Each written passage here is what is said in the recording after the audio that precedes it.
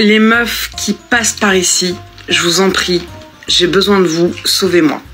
Il y a quelques jours, j'ai posté un TikTok sur euh, ma vie sentimentale absolument désastreuse. Et depuis cette vidéo, je ne reçois que des commentaires de mecs absolument dégueulasses qui, bien sûr, ne me font que des remarques sur mon physique, sur la taille de mes sourcils, sur mes cheveux bouclés, sur ma bouche, sur mon nez. Bref, je suis un monstre à leurs yeux et du coup, je ne mérite pas d'amour et ils ont besoin de me donner leur avis sur mon physique. Mais si ça n'était que ça, il y a aussi l'autre catégorie de tous les mecs qui me suivent en masse sur Instagram, qui m'envoient des DM en masse, et tu sais, des DM, genre des mecs sans photo de profil, sans rien, qui t'envoient genre euh, appelle-moi, voici mon numéro de téléphone. Mais en quel honneur Genre mec, toi tu vois 10 000 photos de moi sur Instagram et tu penses que je vais avoir envie de toi alors que t'as zéro photo, genre what? Et le plus inquiétant, c'est aussi tous les mecs qui m'ont envoyé des mails sur ma boîte pro. Euh, voilà, qui sont allés chercher sur mon compte Instagram mon email professionnel et qui sont allés m'envoyer des mails. Je, je peux même pas compter le nombre de mails que j'ai reçus. Donc je vous en prie, les filles, si vous passez par là, sortez-moi de ça. Sauvez-moi de l'algorithme TikTok. Clairement, je ne suis que dans les pourtois de mecs dégueulasses. Je n'en peux plus. Je vous en prie. Les filles, interagissez avec cette vidéo, laissez des commentaires, likez, partagez, je sais pas, regardez. Mais je vous en prie, sauvez-moi de ça parce que là, j'en peux plus. Ouh, la famille. Déjà, je vais donner un conseil à elle. Le meilleur moyen de se sauver de, ce bourbier dans lequel elle est, c'est d'annuler ton compte TikTok. Annule TikTok, annule ton Instagram, et voilà, problème résolu. Mais elle va pas le faire. Pourquoi elle, elle va pas le faire? Parce qu'elle aime l'attention qu'on lui donne. Ok? Voilà la solution la plus radicale à toi, mademoiselle. Si tu veux qu'on arrête de t'envoyer des messages vraiment inhumains, comme tu dis, hein, annule ton Instagram, annule ton TikTok. Point bas. Voilà. Alors maintenant, on va, on va parler euh, d'autre chose parce qu'elle se plaignait qu'elle se fait ghoster. Je vous fais écouter et au fur et à mesure que la vidéo va se jouer, je vous dirai qu'est-ce que je pense. Ok? Let's go. Alors, alors, alors. Donc, petite update par rapport au garçon avec qui j'avais commencé une relation depuis euh, un peu plus d'un mois, qui était un jour sur deux euh, euh, chez moi, avec qui on s'écrivait un peu tous les jours, qui avait des petites affaires chez moi, sa brosse à dents, ses slibards, etc. Et à qui j'avais demandé un éclaircissement sur la relation qu'on avait, le soir où il a voulu me présenter ses amis. Donc avant qu'on aille rencontrer ses amis, on s'est posé, on a bu un verre et je lui ai dit Mais je suis qui par rapport à toi? Est-ce qu'on est dans une relation? Est-ce qu'on est exclusif? Autant le savoir maintenant avant que je rencontre tes amis. C'est quand même une step dans une histoire. Bon, déjà, euh, je, vais, donner un conseil à la demoiselle.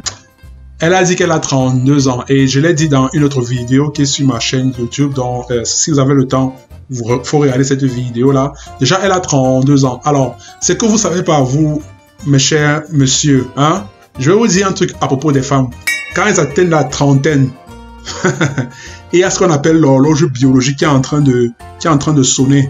Je vais vous faire un peu jouer le, le bruit de l'horloge biologique. Tic, tic, toc, tic, toc. Donc, quand les femmes atteignent la trentaine, là, quand 30 ans, 3, 0, quand ce chiffre-là se forme dans la tête, ou bien quand elles approchent la trentaine, ça les rend complètement folles. Alors, dans le cas de Fidu, elle, elle dit qu'elle voyait quelqu'un depuis une certaine période, et puis tout semblait bien aller. Et comme elle est là dans la trentaine, elle a 32 ans, elle a l'horloge biologique qui est en train de lui mettre la pression. Et puis cette pression-là, elle met ça sur le gars qu'elle est en train de voir. Et le gars le sent. Il sent cette, cette pression-là. Il sent mmh. comment elle veut mmh. absolument se poser avec quelqu'un pour une, pour une relation sérieuse. Le problème, c'est que le gars la regarde.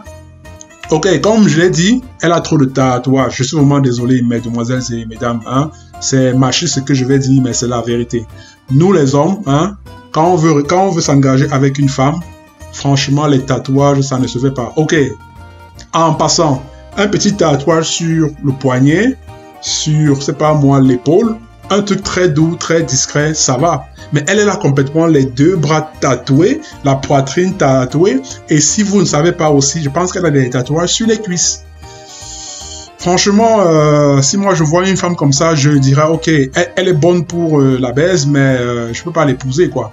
Parce que on a beau se dire, on, ne juge pas la vie par le moine, mais l'être humain juge les autres personnes par ce qu'il voit.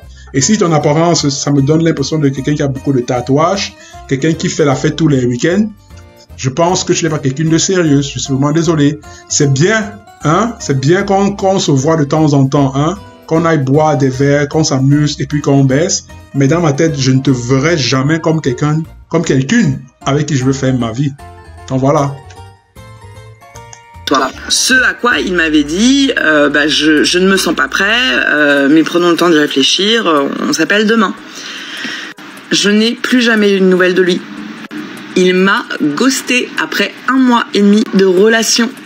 Je lui ai envoyé un petit message pour lui dire Ok, bah bonne continuation. Une fois de plus, on s'était pas embrouillé, donc juste bonne continuation. Il ne m'a jamais répondu. Voilà, ça confirme ce que je disais tout à l'heure. il a eu ce qu'il voulait, il s'est rendu compte qu'elle n'était pas quelqu'un de fiable et il a continué sa route simplement. Ok? Et la prochaine vidéo que je vais vous faire voir, elle se plaint du même problème. C'est bizarre qu'elle ait le même problème chaque fois. Elle se fait ghoster. Hmm, intéressant ça.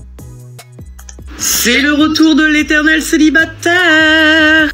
Bon, ces dernières semaines, je vous ai pas beaucoup parlé de date ou de ma vie sentimentale qui pue la merde parce que j'avais rencontré quelqu'un. Incroyable. Ça fait un mois qu'on se fréquente avec ce garçon. Ça fait un mois qu'on se voit genre un jour sur deux presque. Euh, on s'envoie des petits messages tous les jours. C'est simple, c'est fluide.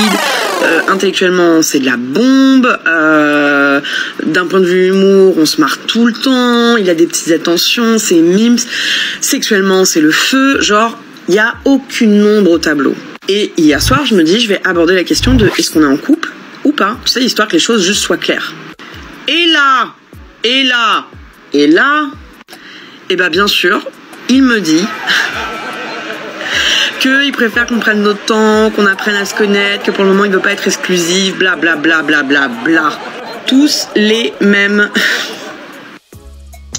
Je vais t'aider un peu, ma chère Leslie. En fait, ma chère Leslie, si les, les hommes n'arrêtent pas de te ghoster, ou bien ne veulent pas être dans une relation sérieuse avec toi, c'est parce que je suis désolé, tu as les fun, hein, tu as de quelqu'un avec qui c'est bien d'aller euh, en boîte, d'aller dans les bars, de s'amuser. Hein, c'est bien de faire ça avec toi.